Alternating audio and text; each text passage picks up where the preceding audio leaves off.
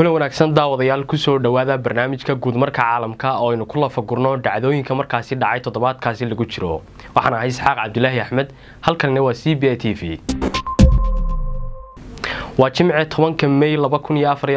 qodobada aad barnaamijka ku daawan doontaana waxaa ka mid ah.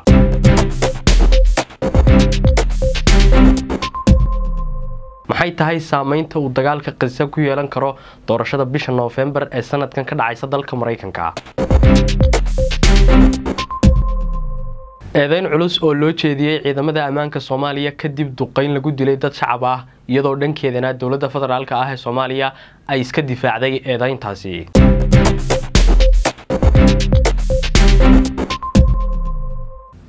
xaaladda shacabka suudaan ee qaxoontiga ku ah dalka etoobiya oo xaalkooda laga dayrinayo. Qodobadaas iyo qaar kale ayaad maqli doontaan ku soo dhowaada guudmarka caalamka aan ku bilaabe eedeyn culus ayaa loo jeediyey ciidamada ammaanka soomaaliya kadib duqeyn lagu dilay dad shacab ah gobolka shabeellaha hoose. Eedeyntan oo ay warbixin ka soo saartay hay'adda amnesty international ayaa ay dhankeedana iska difaacday xukuumadda soomaaliya iyadoo sheegtay inaanay arrinkaas waxba ka jirin hay'adda xuquuqda aadanaha u dooda amnesty international ayaa sheegtay in duqeymo mataana ah oo ay fuliyeen militariga soomaaliya oo adeegsanaya diyaaradaha aan duuliyaha lahayn ee turkiga lagu dilay saddex iyo labaatan qof oo rayid ah oo ay ku jiraan afar iyo toban carruur ah bishii maaraj ee sanadkan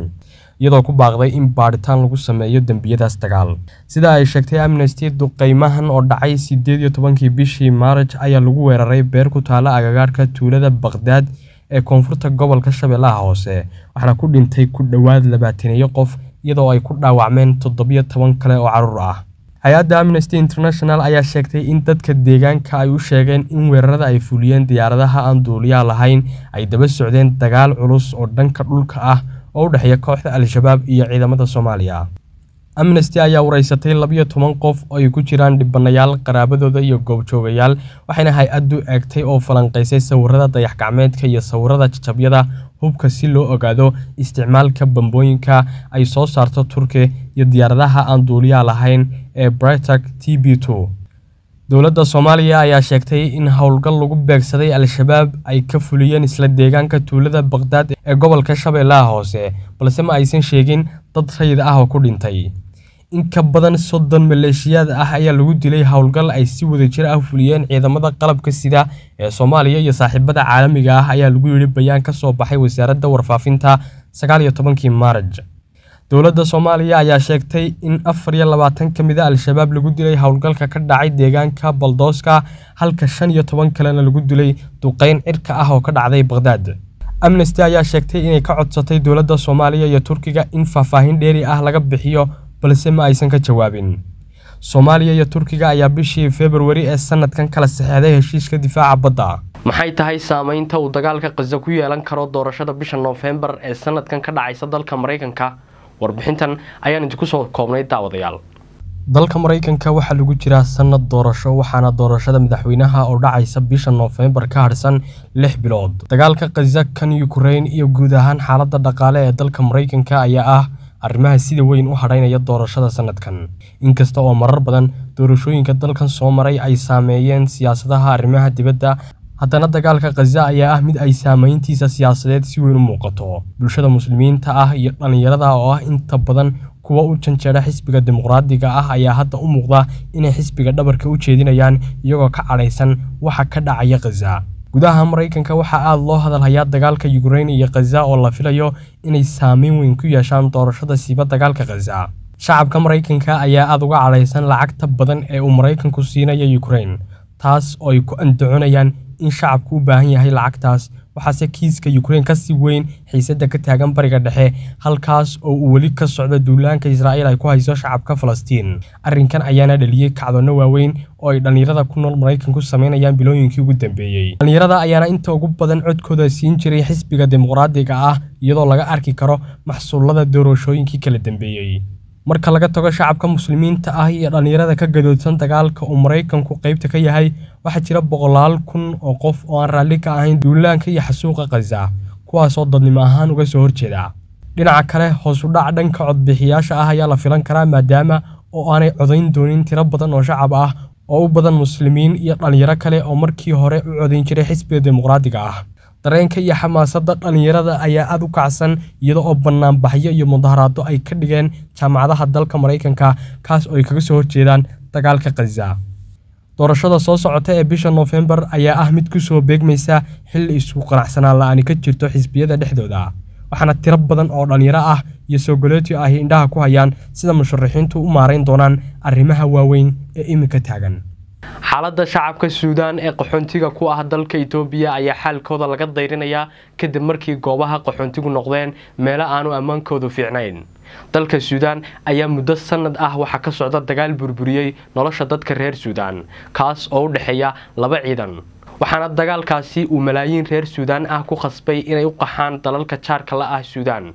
muwaadiniinta dalka suudaan ee qaxoontiga ku ahaa gudaha dalka ethoobiya ayaa bilaabay inay isaga cararaan etoobiya kadib markii ay la kulmeen dhibaatooyin kala duwan oo halis geliyey noloshooda. Ugu yaraan kun qof ayaa ka cararay xero qaxooti oo ku taalla waqooyiga ethoobiya kadib markii lagula kacay dhac handadaad iyo weeraro joogto ah oo ay geysanayaan ciidamada dowladda ethoobiya iyo kooxo hubaysan oo aan la garanayn waxa ay yihiin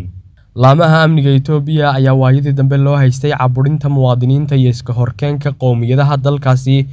Sidoo kalena waxa ay gabeen howshii loogu talagalay sugidda amniga dadka ku nool gudaha ethoobiya oo ay ku jiraan qaxoontiga in ka badan toddoba kun oo qaxoonti ah ayaa qorsheynaya inay ka baxaan xerada qaxoontiga ee koma kadib markii ay waayeen ciidamo suga amnigooda iyada oo qaarkood la dhacay wixii yaraa ay haysteen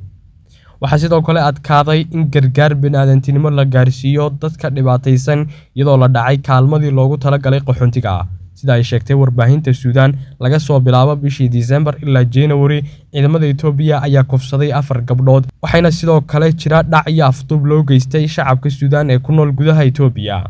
hay'adda qaramada midoobay u qaabilsan qaxoontiga ee u n h c r ayaa dhankeeda sheegtay in qiyaastii toddobiyo labaatan kun oo qaxoonti suudaan ah ay ku nool yihiin gobolka amxaarada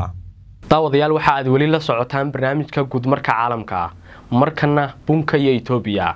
lacag ku dhow hal milyan oo dollar ayaa la sheegay inay etoobiya sagaal bilood gudahood ka heshay dhoofka bunka taas oo waxweyn ka geysata dhaqaalaha dalkan ku yaalla bariga afrika etoobiya dhoofinta bunka waxa ay sagaalkii bilood ee ugu dambeeyey ka soo galay lacag dhan sideed boqol iyo shan iyo soddon milyan oo dollar. Isagoo dalkani suuqyada caalamiga ah u dhoofiyey boqol iyo toddobaatan iyo afar shan boqol iyo sagaashan iyo lix tan oo bun ah. Sagaalkii bilood ee ugu horreeyey sanad miisaaniyadeedka etoobiya ee laba kun iyo saddex iyo labaatan afar iyo labaatan ee bilaabmay sideedii julaay. Sida ay sheegtay hay'adda e c t a ee dalka etoobiya u xilsaaran arrimaha bunka. Xogta hay'adda e c t a ayaa muujinaysa in shiinaha imaaraadka carabta iyo suudaan ay ka mid yihiin dalalka ugu badan ee loo dhoofiyo bunka etoobiya sidoo kale sacuudiga kuuriyada koonfureed maraykanka jarmalka iyo jabaan ayaa ah meelaha iyaguna safka hore uga jira iibsashada bunka etoobiya wax soo saarka bunka etoobiya ayaa lagu tilmaamaa lafdhabarta dhaqaalaha dalka ee beeralaydu hogaamiso. Etoobiya ayaa suuqyada bunka ee adduunka toddobiyo toban boqolkiiba ka ah balse hoosu dhac ayaa jira sida laga arki karo warbixinada ku saabsan ee soo baxay sanooyinkii ugu dambeeyey. Sidoo kale soddon ilaa soddon iyo shan boqolkiiba dakhliga dibadda ee etoobiya ayaa ka imaada bunka markana bariga dhexe. Duulaanka yuhuudda ee falastiin ayaa weli socda waxaana maxsuulka dagaalka oo socda muddo toddoba bilood ah ka dhashay khasaare laxaad leh oo aynu ku soo koobi karno dhimashada in ka badan afar iyo soddon kun oo qof oo falastiiniyiin ah kuwaas oo toddobaatan boqolkiiba ay yihiin dumar iyo carruur halka toddobaatan kun oo qofna ay dhaawac yihiin. Sidoo kalena in ka badan toban kun oo ruux ay hoos mareen dhismayaasha dumay. Dhinaca kalena gaajada ayaa boqortooyo ka samaysatay khaza waxaana kor u kacday maciishada cuntada. Waaba haddii la hele waxaana xusid mudan in ay jiraan xaalado dad gaajo u dhintay. Ugu dambeynna xabad joojinta dagaalkan ayaan weli daacad laga noqon oo aan laga heshiin iyadoo weli ay socdaan xasuuqa shacabka falastiin ee sida arxandarrada ah ay u gumaadayaan yuhuuddu intaas waxaa ku dhan daawadayaal barnaamijka guudmarka caalamka waxaa idinla socodsiinayay soona saara anigoo ah isxaaq cabdilaahi. Tan iyo kulanka toddobaadka dambe nabadgelyo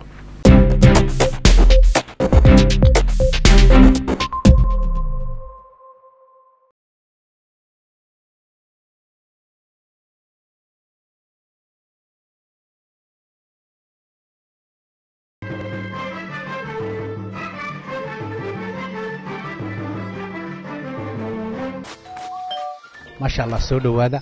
La jaanqaad shirkadda telesom maxmil waxay kuu diyaarisay adeegga internetka ay faibar optiga kaasoo xawaarihiisu kala go' lahayn. Waa guji waa ishaa biligteeda. Intuu soo gudlanayo hadalba gam hagarle ii ku isticmaal soshiyal miidiyaha kuna daawo wararka cayaaraha iyo onlaine geemiska haddaba maxmil soo gasho gurigaaga xafiiskaaga iyo goobtaada shaqo. Fadlan nagala soo xidhiidh nambarka gaaban